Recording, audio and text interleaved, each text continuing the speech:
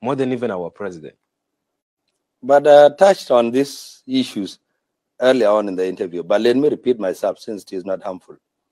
I told you when we were perceiving Pope, or we had viewed Pope in three ways.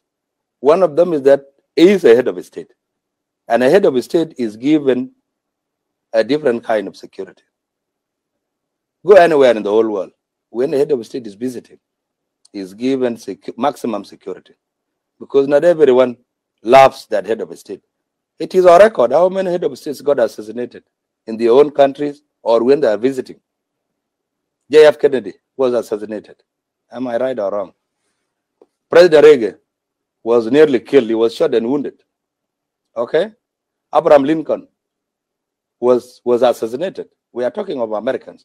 And many, many more. Here in the neighbor, in our in the neighborhood, President uh, Kabila Laurent Kabila was assassinated, right?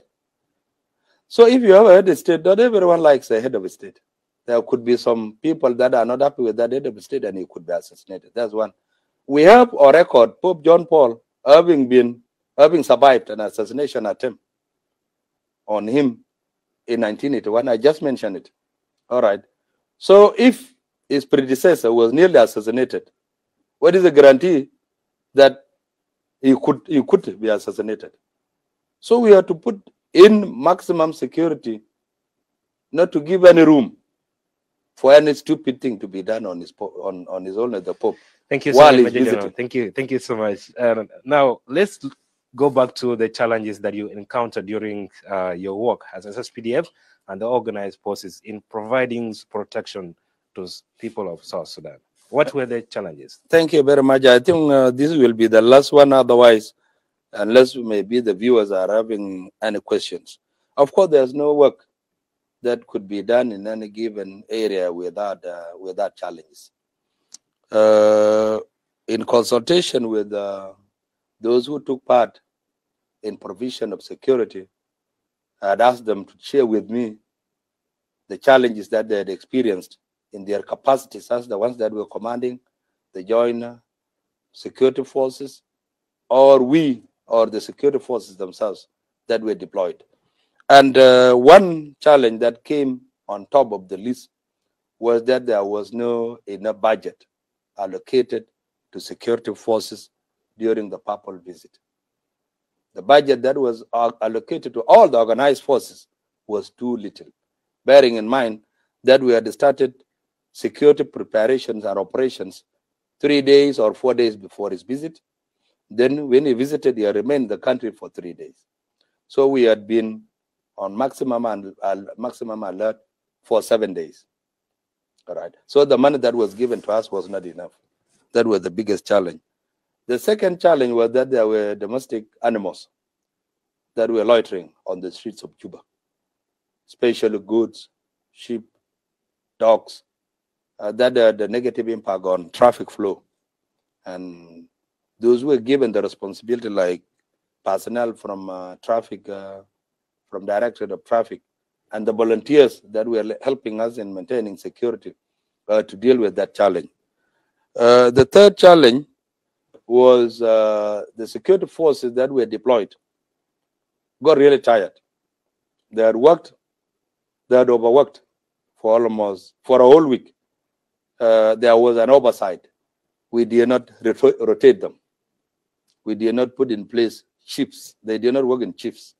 Maybe you work for eight hours, another team is, is deployed. So the one that we deployed worked throughout. So at the end of it, we discovered that they were really, really very tired. Uh, another third, fourth problem was on the eve of His Holiness visit, we held two parades, one in the morning, one in the afternoon. In the afternoon, after we briefed them, they went driving around in the in, in, in town in a show of force. You know, a show of force from a military perspective is used as a deterrent. You know, our security personnel were in their trucks, they were in their uh, taxis with all their gear. So when they drop around Juba, we're showing the people of South Sudan that look, don't temper when the Pope comes. This is the power that we have with all the organized forces put together. After they, after, as they were going and as they were coming back, we realized that they were over speeding. Um, our drivers, the drivers for different military vehicles, they sped when they were going and they were speeding all over. So when we realized that, we came and told them, look, there are speed limits. So don't don't don't don't over speed. That was one challenge. That was a that was another challenge. So basically, we had observed around four challenges. Now that brings us to the second uh, second. That's the A part of it. B part of it was then how did we address the challenges? Of course, uh, the issue of having insufficient budget was raised by our command, but we were told that there were there was no more money, and as a result, we persevered with the little money that was given to us until we succeeded in accomplishing uh, the task. After realizing that, realizing that the drivers were over speeding, we came and briefed them. Our, our chief of defense, our deputy chief of defense forces, uh, our assistant chief of defense force for operations, General Toy came and briefed the drivers about the need for them to observe uh, speed limits. And that were now, when they started deploying on D-Day and throughout, I'm very sure they observed the required uh, speed uh, speed limit. Uh, the issue of uh, goods, domestic animals loitering around, so they they were cleared. So basically, I'm happy we in the SSPDF and the organized forces would like to say a very big thank you to the people of South Sudan for showing unity, for behaving very well. Big thanks goes to the political leadership of this country that the visit, in my opinion, to the condolence message of His Excellency the President uh, to to the people of Keju and uh, during the papal visit to, to the Republic of South Sudan. And I don't want us to go without touching something about that. Uh, it was really linked by international media houses that upon the arrival of His Holiness Pope Francis, many lives were lost in the Republic of South Sudan, one day before his visit to the people of the Republic of South Sudan. So what do you say about that as the spokesperson of SSPDF? And what measures did you put in place to keep protecting people of South Sudan with their properties, given their differences and whatever kind of conflict that they're having? Uh, thank you, Brother Majur. To be honest, um, it was been unfortunate that lives were lost um, on the eve of uh, His Holiness visit. Both lives were lost from cattle herders as well as the host community. It was regrettable. Uh, it was regrettable in the sense that any life lost, it is regrettable. And to make matters worse, it had happened at a time when the the focus of the whole world was on the Republic of South Sudan. Uh, it, it, it, it, portrayed us in a very negative uh, manner. Uh, but of course, it's a country at war, and the country is emerging from war.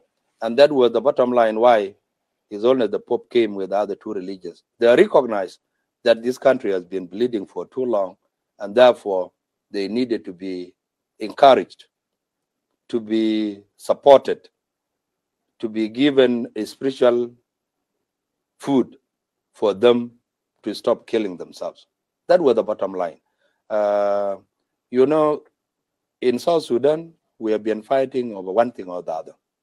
The bigger picture is that this country has been experiencing political problems, political evils, uh, upheavals.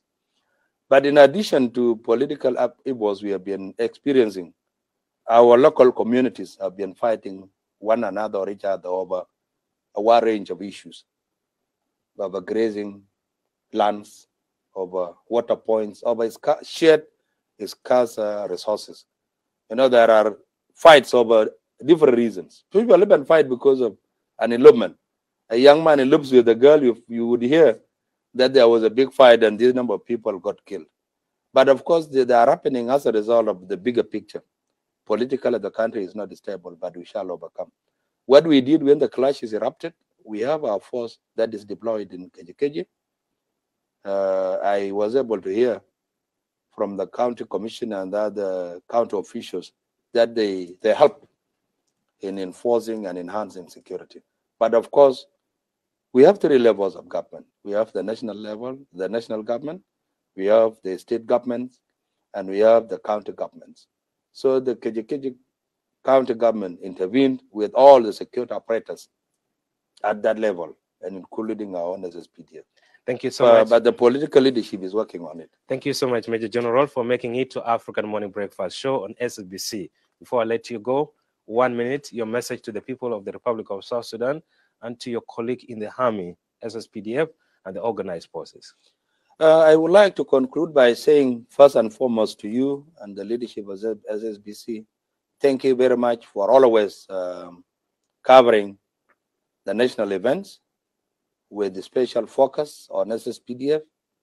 And I'm very thankful to the leadership of SSPDF for always availing uh, this coverage to, to SSPDF. You have been doing a very wonderful job for the last seven years since I was appointed as the spokesperson we are in focus simply because of SSBC.